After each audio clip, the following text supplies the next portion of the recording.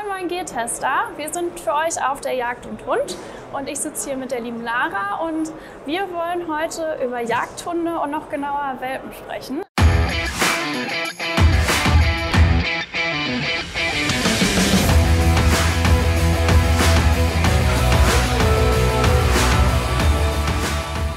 Vielleicht stellst du dich erstmal einmal vor.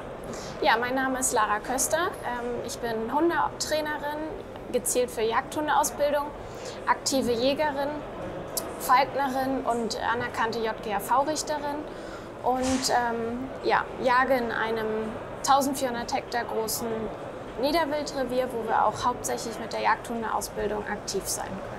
Ja, cool. Ich freue mich, dass du heute hier bist. Ja, sehr gerne. Ähm, weil die meisten Jäger wissen ja, wenn man einen eigenen Hund hat und mit ihm zusammen jagen geht, das gibt es nichts Schöneres. Aber so ein Hund ist natürlich auch eine große Verantwortung.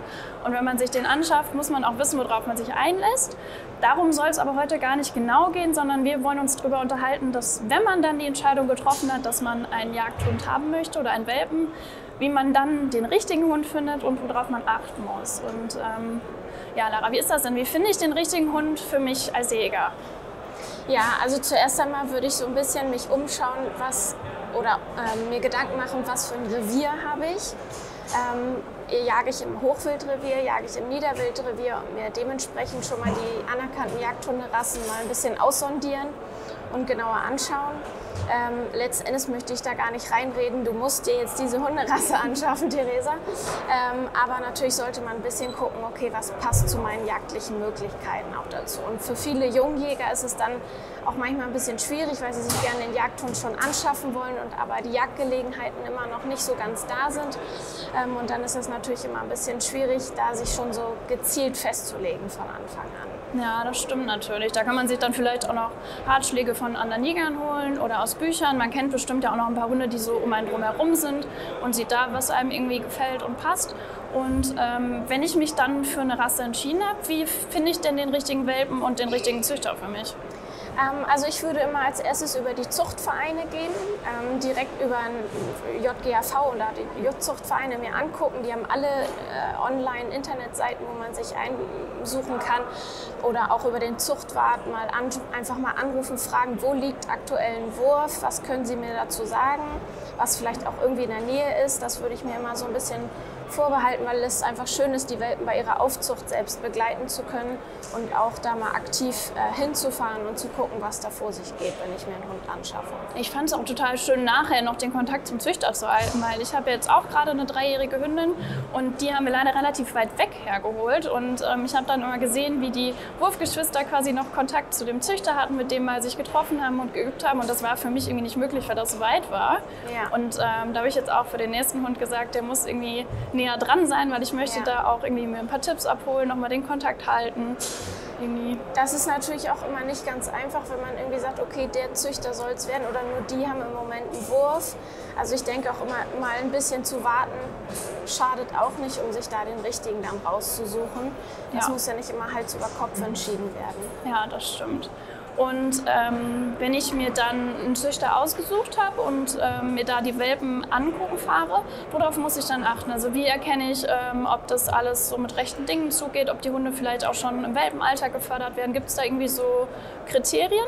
Ähm, also zuerst einmal würde ich natürlich einfach so ein bisschen auf die tierschutzrechtlichen Hintergründe achten. Wobei, wenn ihr einen anerkannten Züchter euch sucht, der auch über einen Zuchtverein Hunde mit Papieren verkauft, die dem VDH ähm, angeschlossen sind und dem FCI angeschlossen sind, muss das immer seine Richtigkeit oder sollte seine Richtigkeit haben, sodass da natürlich auch alle tierschutzrechtlichen Maßnahmen eingehalten werden. Ähm, ich würde dann einfach, für mich ist immer ganz persönlich wichtig diese örtliche Nähe, als auch dann diese, ähm, die Sauberkeit beim Züchter und ja, so ein bisschen natürlich auch diese die, wo leben die Welpen? Werden ja. die drinnen, draußen? Äh, wie, sind, wie ist die Mutter drauf? Ja. Ich gucke mir die Mutterhündin an. Es ist natürlich immer schwierig, den Vater zu beurteilen. Der ist häufig nicht da, weil man mit seiner Deckhündin zum Rüden hinfährt. Ähm, aber ähm, man sollte sich wirklich die Zeit nehmen, sich mit dem Züchter auch auseinanderzusetzen, ja. sich hinzusetzen, sein Urteil anzuhören. Ähm, der hat die Welpen schließlich den ganzen Tag um sich und der kann das mit auch zusätzlich gut entscheiden. Also sagst du auch, wenn du dann beim Züchter bist, ähm, dass der im besten Fall auch die Empfehlung geben kann, welcher Welpe der richtige für den. Genau, also wir wollen ja ähm, aktive Jagdhunde haben, die agil sind, die ähm, wesensfest sind und ähm, der Züchter hat natürlich täglich ein Auge darauf.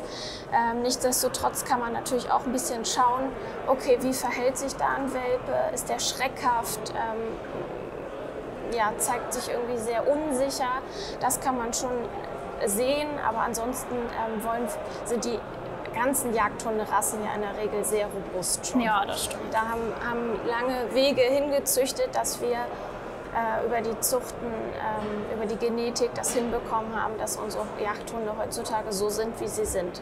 Wir sprechen jetzt die ganze Zeit immer vom, vom Züchter und beim Züchter, äh, nach welchem Züchter, wo ich finde ich meinen Hund und äh, wenn ich den Züchter besuche, ähm, wie ist das denn? Also es gibt ja Züchter, die mit Papieren und ohne Papiere züchten. Wie ist da der Unterschied? Worauf muss ich achten? Ja, also ähm, genau, man sollte vielleicht darauf achten, habe ich einen Hund mit Papieren oder also ein Züchter, der mir anerkannte Papiere für meinen Hund ausstellt. Es gibt auch Züchter, die stellen Papiere aus, nur die sind gar nicht dem VDH oder dem FCI anerkannt.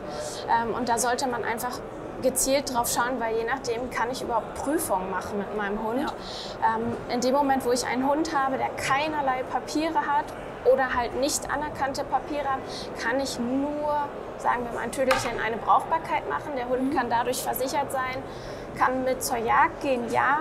Ähm, aber der Hund mit den Papieren hat natürlich deutlich viel, viel mehr Möglichkeiten. Ja. Ich muss, kann mir offen halten, ob ich mit diesem Hund nachher weiter züchten kann. Ähm, man kommt ja dann doch von einem zum nächsten. Ja. Ähm, ich kann mir, ich habe viel, viel mehr Möglichkeiten, alle Themenbereiche abzuarbeiten und meinen Hund in allen Bereichen durchprüfen zu lassen. Ähm, und habe da einfach dann auch keine Schwierigkeiten, dass es ein anerkannter Jagdhund ist. Ja, ich fand auch immer, die Prüfungen waren eigentlich ein ganz netter Anreiz. So. Also klar, man, man trainiert mit dem Hund und übt mit dem und auch wenn man die Brauchbarkeit macht, muss man natürlich auch mit dem Hund üben.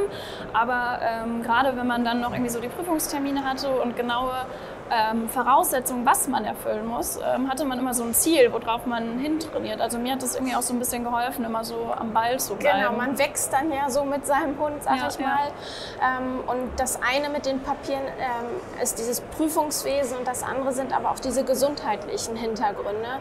Ähm, über die Jahrzehnte hat sich die Genetik ja über die Zucht weiterentwickelt, also ja weiterentwickelt und man hat natürlich versucht, Krankheiten rauszusondieren, die wir nicht haben wollen, um aus diesen Rassen äh, das ja. zu machen, was sie heute sind.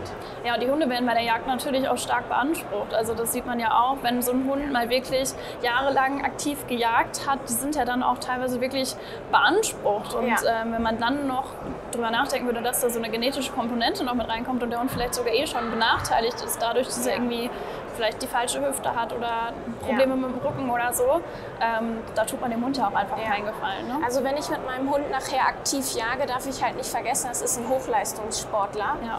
Ähm, den ich da durchbringen muss durch die Jagden und manchmal auch zwei, drei Tage hintereinander, wie das mittlerweile so stattfindet. Ähm, und da äh, ist es einfach von Notwendigkeit, dass wir ähm, gesunde Hunde haben, mit denen wir haben. Und ob da jetzt ein Härchen krumm steht, sage ich mal, ist mir persönlich auch egal. Ähm, er muss das ähm, gesundheitlich durchschaffen können. Ja, cool. Ja, ich glaube, dann haben wir das ganze Thema eigentlich schon ganz gut abgearbeitet, also worauf man achten muss, wie man seinen Hund findet. Ähm, ich weiß nicht, ob du jetzt noch irgendeinen Tipp gerade an der Hand hast. Nö, ne? Vielen Dank. Ansonsten würde ich mich einfach nur ganz herzlich bedanken. Sehr gerne. Und ähm, wenn ihr noch Fragen habt, könnt ihr die ganz sicher in die Kommentare schreiben. Dann versuchen wir oder Lara natürlich auch noch zu helfen. Ähm, ihr könnt der Lara auch auf Instagram folgen. Die gibt auch immer ganz viele Tipps zur Hundeausbildung.